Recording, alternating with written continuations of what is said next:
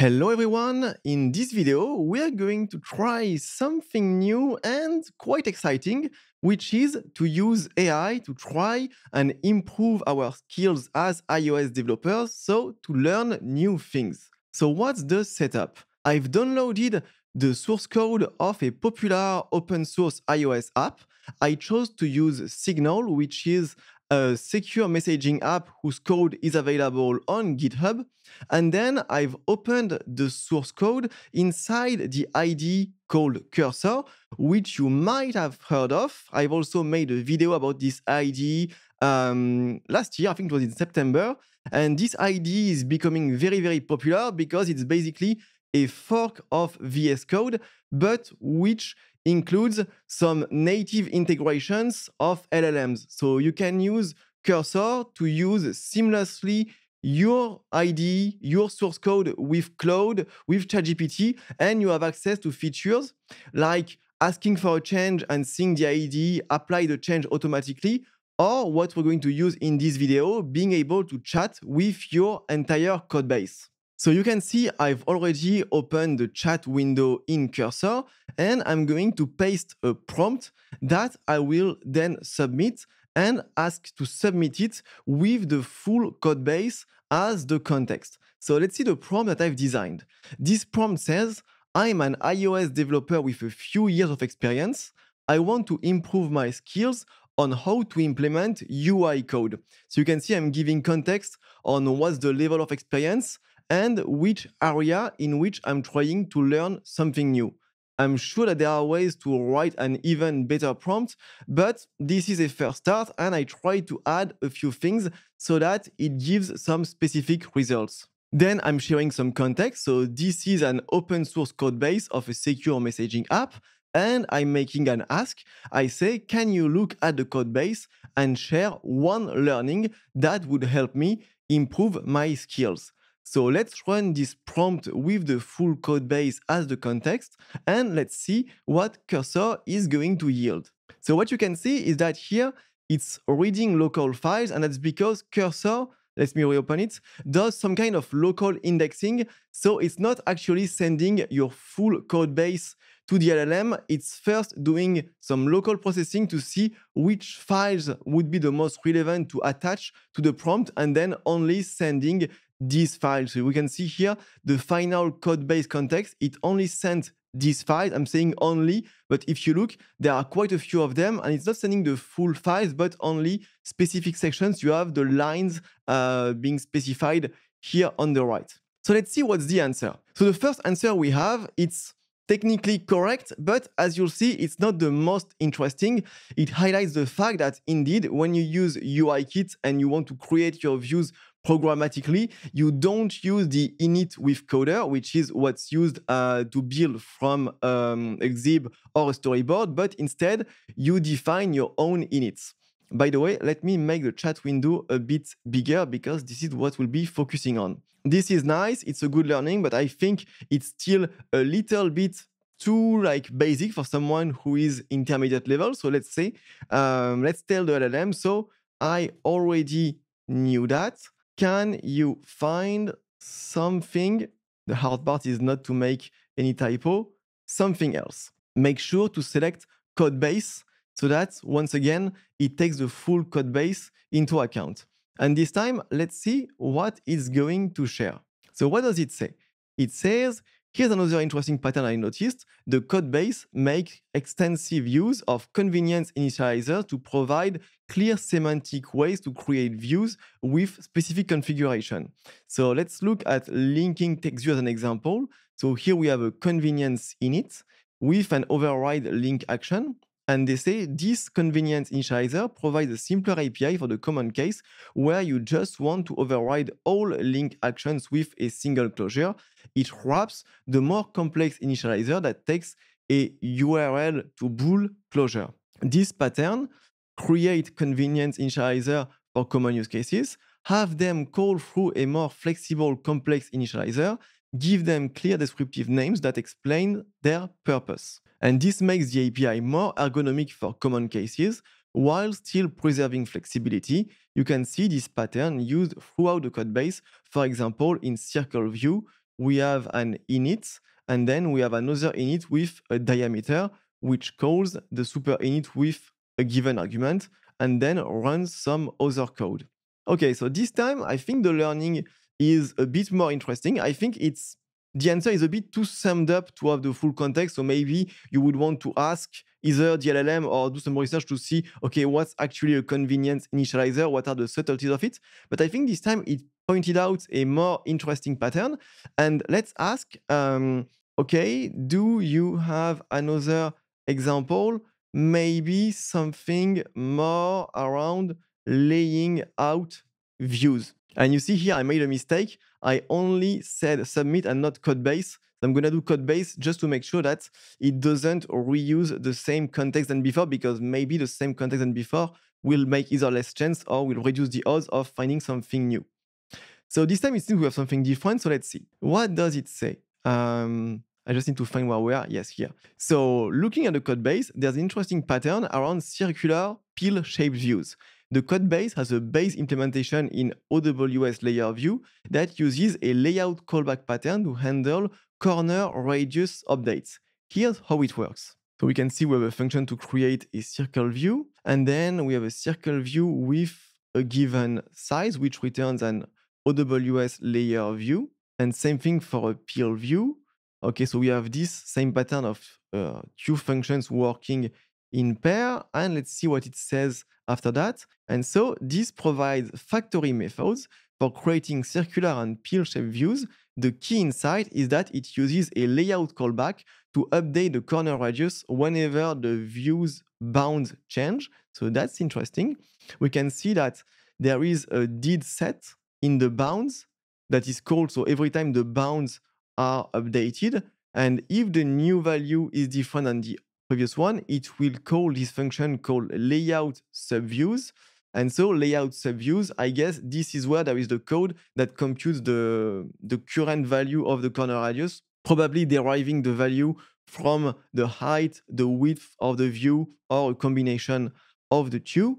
And so this is the pattern used to make sure that the corner radius is always updated whenever either the bounds, the frame, or the center of the view change. And then the LLM says that this pattern is then used throughout the app for consistent circular pill shapes.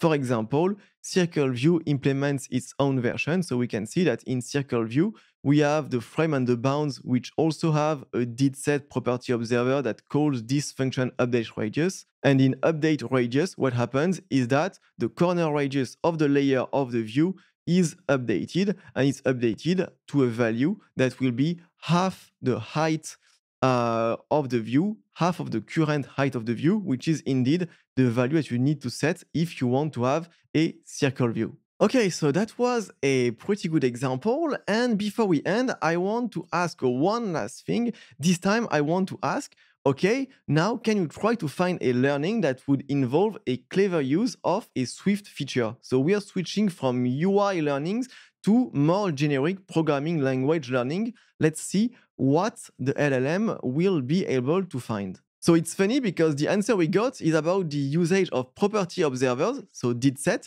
which indeed is a Swift feature, but it's also what the model had shared with us just before. So let's try to ask for something else. So I'm going to say, okay, but you've already showed that. Can you find something else? This time I'm crossing my fingers that we're going to get an interesting result to finish the video if we don't, maybe it will be the sign that we can only ask so much uh, out of this approach. So here it's will set. It still seems to stay in the same uh, area, but let's see what it says. So yes, looking at the code base, I noticed a clever use of property wrappers to prevent direct setting of background color in OWS flat button. So this time it could be something different. So what's happening is that if you try to set a background color, there is uh, what seems to be a function that makes the app fail in debug mode. And so they override the background color property with a will set property observer that fails with a debug error, forcing developers to use the correct set background colors up color method instead. That's interesting. So when I said that it was the same thing, it seems that I was a bit too early to judge because it's very interesting. Because indeed, if you want to prevent a property that is already defined uh, at the level of UI view, you can't remove the property. You can't, I think, even mark it as deprecated because there would be too much side effects, or maybe even the compiler won't let you do that.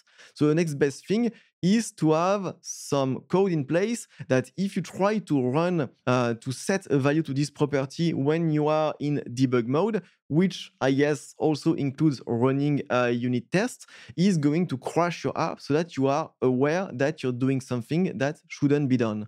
And the way to do it is indeed to put a will set property observer. So if code attempts to set the background color, this is what will be called first before a value is set. And if you are in debug mode, it's going to fail. And we could also assume that if this happens in production, maybe there is some error that is sent to a monitoring service like Firebase or Datadog to let you know that there is something wrong in your code and this is something that should be fixed. And let's see the reasoning of the LLM of why this is clever. So it's clever because it catches misuse at runtime during development. That's correct.